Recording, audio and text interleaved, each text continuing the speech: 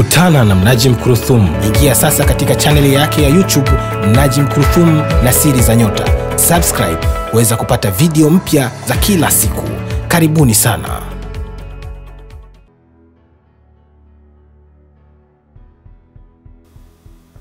Niwakaribishe katika kipindi cha unajimu au utabiri wa nyota, nami Mnajimu Kurthum. Siku ya leo nataka nizungumzie kuhusu ndoto zinazohusiana na kifo. Vifo vipo, tunakufa, watu wanakufa, watu walishakufa, lakini sasa siku ya leo tunataka tujue kwamba tunapoota ndoto za kifo maana yake nini? Ukiwa umeota ndoto ya kifo inakuashiria nini? na unaitakiwa uifuatilie na kuweza kujua tafsiri yake. Kwa hiyo unaweza ukasikiliza kwa makini zaidi. Kichwa cha habari cha ndoto za kifo. Ndoto za kifo zinaashiria mambo ya dini, rushwa, kupanda kimaisha katika dunia, na maana hasa inapokuwa eh, maana hasa inakuwa mbaya pale unapoota umebebwa kwenye sanduku au jeneza katika mazishi yako, katika ndoto za namna hiyo. Vile vile ndoto za kifo ni safari au kusafiri, ni umaskini na maana nyingine ni ndoa. Kwa hiyo ukiota umekufa, maana yake ni kwamba utapata kazi yenye mamlaka na utafanya kazi kwa mtu mwenye uongozi, aidha wa dini au wa serikali. Ikiwa utaota umekufa, maana yake ni kwamba utapata kazi yenye mamlaka au utafanya kazi kwa mtu mwenye uongozi aidha wa dini au wa kiserikali, ikiwa utaota ndoto hiyo. Na ukiota umetiwa mm, kaburini na umezikwa, hiyo ni ishara ya kwamba utakufa ukiwa maskini. Wewe utakayeota ndoto umetiwa kaburini na umezikwa, yaani umeshawekwa ndani ya kaburi na umezikwa hiyo ni ishara ya kwamba utakufa ukiwa maskini, kwa maana utakufa ukiwa huna chochote au hutoacha kitu chochote ambacho kitaonekana kwamba ulikipata katika mzunguko wako utafutaji hapa duniani. Na ukiota mtu amekufa na wewe unaamini kwamba mtu huyo bado yuko hai, hiyo ni ishara ya kwamba mtu huyo atakuletea ujumbe mzito wa kimungu. Na ukiota umekufa lakini huna dalili ya kufa na watu waliopo hawalii wala hakuna dalili ya maombolezo, maana yake ni kwamba utawadhibiti wapinzani wako au wafanyakazi wenzio au watu unaofanya nao kazi, lakini utapoteza mali zako.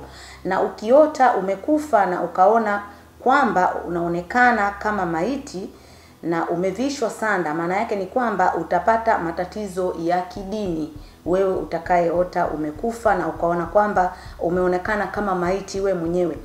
Ukiota watu wana majonzi na kukulilia kwamba umekufa, ukiota watu wana majonzi na kulia kwamba umekufa, hiyo ni ishara ya wewe kupanda hadhi yako na kupata cheo katika dunia hii. Na ukiota umekufa na ukazikwa, hiyo ni ishara ya kwamba unaweza kuishi muda mfupi na ukafa bila ya kutubu madhambi yako ukiwa utaota ndoto za namna hiyo. Na ukiota kaburi ni kwako ba, ukiota umetoka kaburini kwako baada ya kuzikwa, hiyo ni ishara ya kwamba utatubu madhambi yako, utatubu madhambi yako ikiwa utaota kaburini kwako baada ya kuzikwa, yani uko katika kaburi. Na ukiota umekufa na watu wamekubeba kwenye mabega yao wanakupeleka kukuzika, hiyo ni ishara ya kwamba utawashinda maadui zako na unafaa kuwa kiongozi. Ukiota umekufa halafu ukawa hai au ukafufuka, hiyo ni ishara ya kwamba utapata u, utapata utajiri na ufukara utakuondoka, au utatubu madhambi zako au kurudi salama kwa yule aliyekuwa safarini. Na ukiota unaona kifo cha mwanamke, ukiota unaona kifo cha mwanamke ambaye umfahamu, hiyo ni ishara ya ukame au kukosekana kwa mvua katika sehemu hiyo au katika eneo hilo. Na ukiota mwanamke huyo amefufuka, ni ishara ya kupata mvua kubwa. Vile vile ukiota mtu aliyekufa anakuambia kwamba yeye hajafa, hiyo ni ishara ya kwamba huko aliko ana hali nzuri, huko aliko ambako sisi hatupajui bado lakini inaashiria hivyo. Na ukiota umebeba maiti, maana yake ni kwamba utabeba chakula utakachopewa na mtu ambaye hapendi mambo ya dini wala mambo ya kimungu. Na ukiota umebeba maiti katika njia ambayo ni tofauti na watu wengine, yaani unakwenda kumzika, hiyo ni ishara ya kwamba utapata fedha za haramu. Ukiota umebeba maiti katika njia ambayo ni tofauti na watu wengine, yaani tofauti na watu wanavyobebwa, na unakwenda kumzika, hiyo ni ishara ya kwamba utapata fedha za haramu. Na ukiota umembeba maiti na unakwenda kumzika, hiyo ni ishara ya kwamba utafanya kazi kwa kiongozi wa kisiasa. Na ukiota mtu aliyekufa akiwa mgonjwa, hiyo ni ishara ya kuwa huko aliko ana matatizo makubwa, yaani mtu ameshafariki lakini ukamwota yuko mgonjwa. Ukiota wakazi wa makaburini au maiti wakitoka kwenye makaburi yao na kuvamia chakula au kukila, hiyo ni ishara ya kupanda kwa bei ya vyakula. Mm, ukiota maiti wanakunywa maji ya mabondeni au kisimani ni ishara ya kutokea kwa maradhi mabaya. Yaani kuna maradhi ambayo yatakayotokea yataleta usumbufu mkubwa.